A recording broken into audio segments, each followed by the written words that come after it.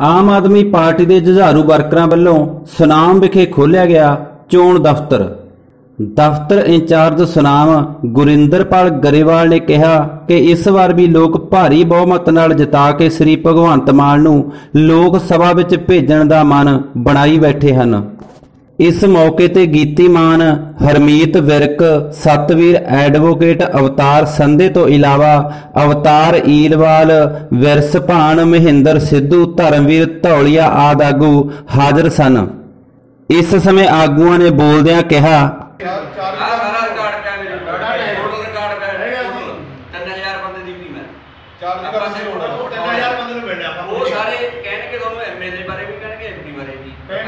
ਜਲੀ ਕਹਾਣੀ ਅਸੀਂ ਵੀ ਤਾਂ ਖੜਿਆ ਝਾੜੂ ਨਾ ਖੜਿਆ ਨਾ ਐਮਪੀ ਨਾ ਖੜਿਆ ਨਾ ਖੜਿਆ ਬਸ। ਨਾ ਉਹ ਕੰਮ ਦਿੱਤਾ ਉਹਨੇ ਨਾ ਦੇਣਾ। ਲੱਗਿਆ ਹੋਇਆ ਬਾਈ ਕਹਿੰਦੇ ਵੱਟ ਚੁੱਕ ਗਿਆ ਪਰ ਇਹ ਹੈ ਵੀ ਸਾਰਾ ਹਲਕਾ ਤਲ ਗਿਆ ਹੋਇਆ ਕੋਈ ਇਹੋ ਜਿਹਾ ਨਹੀਂ ਹੈਗਾ। ਆਪਣਾ ਮਤਲਬ ਦਫ਼ਤਰ ਅੱਡ ਬਣਾਉਣਾ ਨਹੀਂ। ਸਾਡਾ ਮਤਲਬ ਹੈ ਵੀ ਇਲੈਕਸ਼ਨ ਕਿਵੇਂ ਚੱਲਦੀ ਹੈ?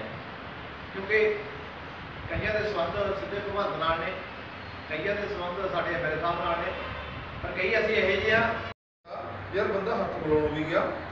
ਇਹ ਕੁਦਰਤੀ ਗੱਲ ਹੈ ਕਿ ਵਰਕਰ ਕੀ ਚਾਹੁੰਦਾ? ਵਰਕਰ ਨੇ ਤਨਖਾਹ ਤਾਂ ਲੈਣੀ ਨਹੀਂ ਹੁੰਦੀ ਕਿਸੇ ਤੋਂ। ਵਰਕਰ ਹਮੇਸ਼ਾ ਇੱਕ ਸਰਕਾਰ ਚਾਹੁੰਦਾ ਹੁੰਦਾ ਕਿਤੇ ਨਾ ਕਿਤੇ ਕਮੀਆਂ ਪੇਸ਼ੇ ਵੀ ਰਹਿ ਗਈਆਂ ਹੋਣਗੀਆਂ, ਆਪਾਂ ਇਹ ਨਹੀਂ ਕਹਿੰਦੇ ਕਿਉਂਕਿ 16 ਕਲਾ ਸਬੂਤ ਦਾ ਸਿਰ ਸੱਚੇ ਪਾਤਸ਼ਾਹ ਹੈ। ਬੰਦੇ 'ਚ ਕਮੀਆਂ ਰਹਿੰਦੀਆਂ ਨੇ। ਮੇ- ਮੇਰੇ 'ਚ ਵੀ ਕੋਈ ਨਾ ਕੋਈ ਕਮੀ ਹੋਊਗੀ।